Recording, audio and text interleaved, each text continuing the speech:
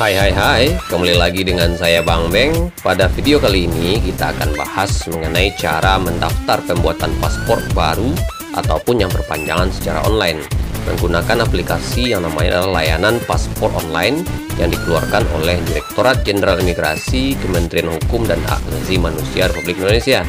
Aplikasi tersebut dapat didownload secara gratis di App Store atau Play Store menggunakan Android kita masing-masing dengan aplikasi ini kita bisa langsung mengisi formulir yang dipersyaratkan dari rumah dan juga langsung mendapatkan nomor antrian yang digunakan untuk wawancara dan pengambilan foto di kantor imigrasi terdekat tanpa perlu mengandalkan jasa para calo lagi.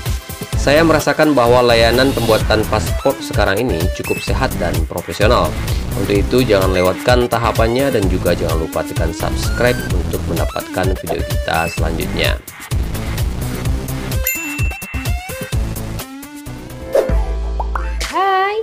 Dilanjutkan dengan temannya Bang Beng.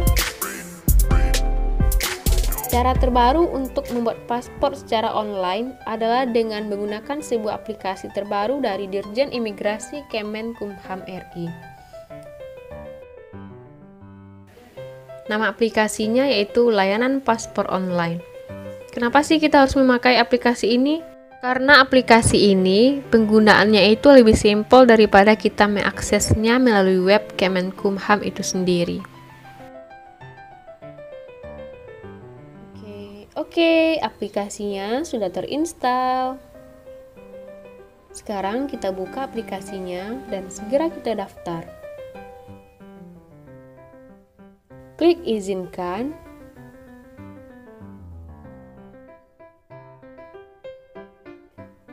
Lalu klik saya setuju dengan syarat dan ketentuan.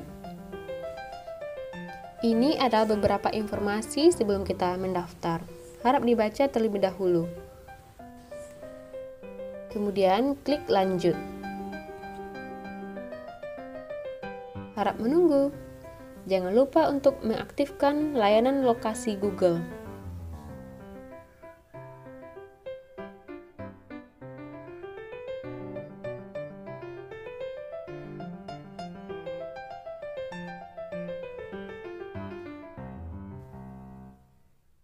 Oke, okay, ada dua pilihan login. Yang pertama dengan email di Google dan yang kedua dengan email di Facebook.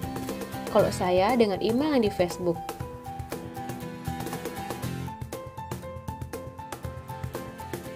Yang pertama kita isikan adalah nomor induk kependudukan yang ada di KTP.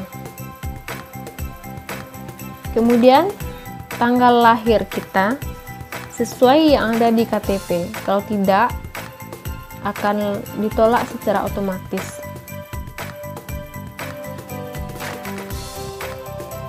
Selanjutnya, isikan nama lengkap kita. Diisikan tanpa gelar ya.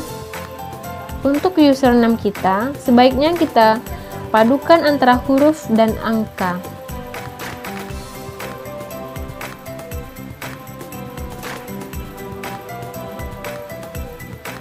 Untuk kolom di email akan terisi dengan otomatis karena sudah dihubungkan langsung dengan akun apa yang kita login tadi.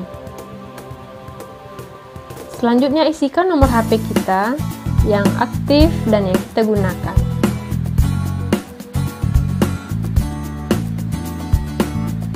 Jangan lupa isikan jenis kelamin kita yang sesuai ya. Selanjutnya isikan alamat lengkap sesuai dengan KTP. Dan pilihlah provinsi kita, kota atau kabupaten kita, dan terakhir kecamatan kita. Apabila sudah yakin, klik daftar. Selanjutnya, kita pilih kantor imigrasi yang kita akan kunjungi dan kita pilih jenis permohonan, tanggal, dan waktu kedatangan apakah pagi atau siang.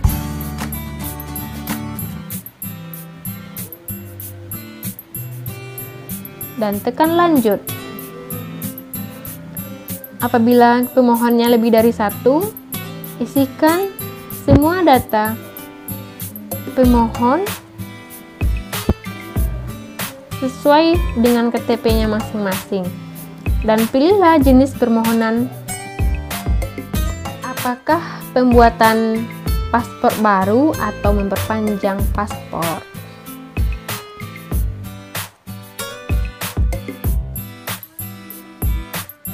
Ini adalah contoh untuk perpanjangan paspor ya.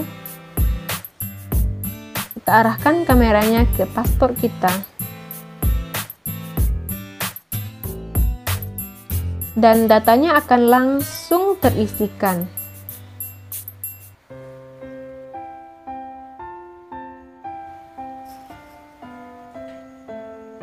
Hal yang perlu kita tambahkan cuma pada keterangan, apakah itu suami atau istri atau anak kita. Apabila sudah yakin, silakan tekan ya, setuju. Oke, berhasil. Jangan lupa untuk simpan PDF atau screenshot jadwal antrian dan datanglah ke kantor imigrasi sesuai dengan jadwal yang telah kita dapatkan ini.